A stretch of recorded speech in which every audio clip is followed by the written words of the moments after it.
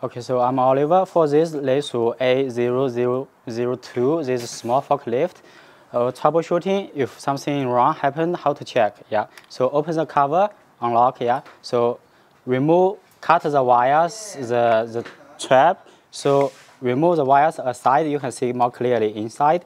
So this, all the valve pump, it is one unit. You can take out directly. So two screws from the front, one here, one here, remove it, and the two screws from rear side, small screws, remove it. You can lift up all this pump and valve block.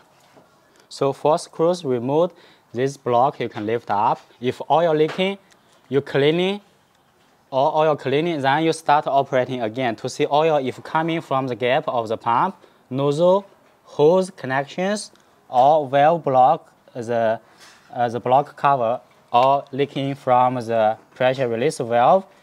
After cleaning running, you will see where oil coming exactly. Yeah. Then we can tell how to solve it.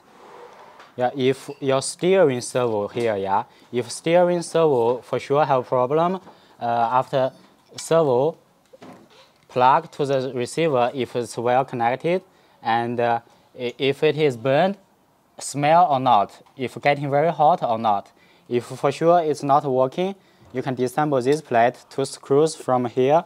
After take out this plate, take out, you can remove, disconnect the servo for changing new one. So here, front, under there, uh, top have one plate. It's for connecting the cylinder, for moving the, uh, the fork. So if the driving system have problem, let's say cannot drive or have clicking sound, means inside the gears have worn out or bro broken gears, we have to disassemble the gearbox. So first the hub left and right for driving, remove all round screws or take out, remove this tire left and right, remove it, and also at this position have one screw take out, left side is the same, yeah, remove the screw, uh, the tires, remove and remove one screw, same position. So the fork this frame secured by these two screw left and right, yeah, and also here downside eight screw. This one, two, three, four, all eight screw remove. This fork frame can take out together with the hydraulic system.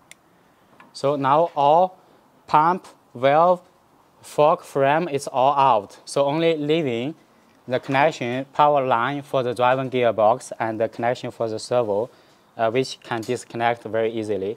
This is the power line to the gearbox. Disconnect. Now we disassemble the gearbox for gearbox troubleshooting. So downside, four screws take out. We can remove the driving gearbox.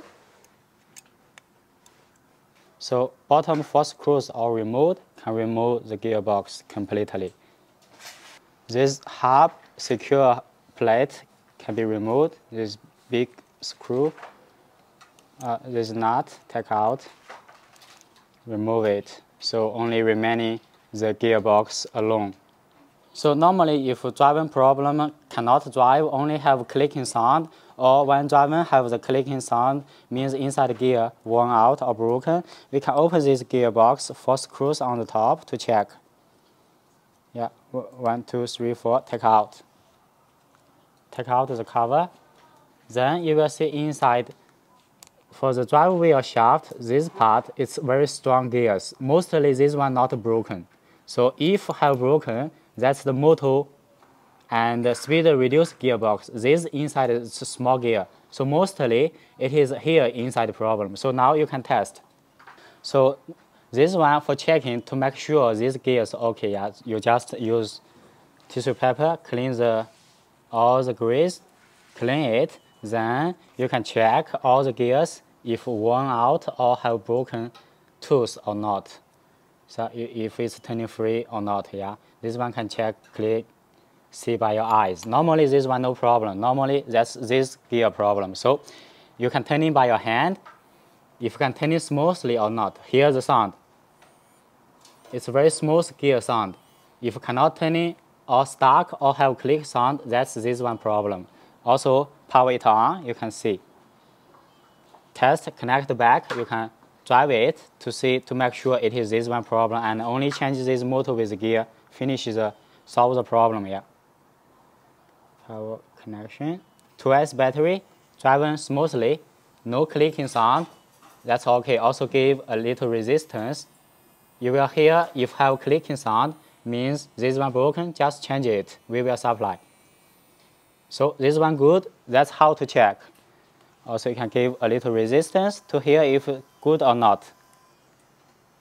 Okay, that's the good one just for show you. So for other problem, let's say maybe leaking from here, here, just all these disassembled, you can see all clearly where the leaking exactly from.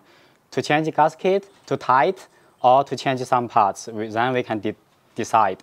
If lights, which light is not lightning, one light broken, also we can follow the wires to see, yeah, we can change the light or we need to change the board, then we can decide. Thank you for watching, see you.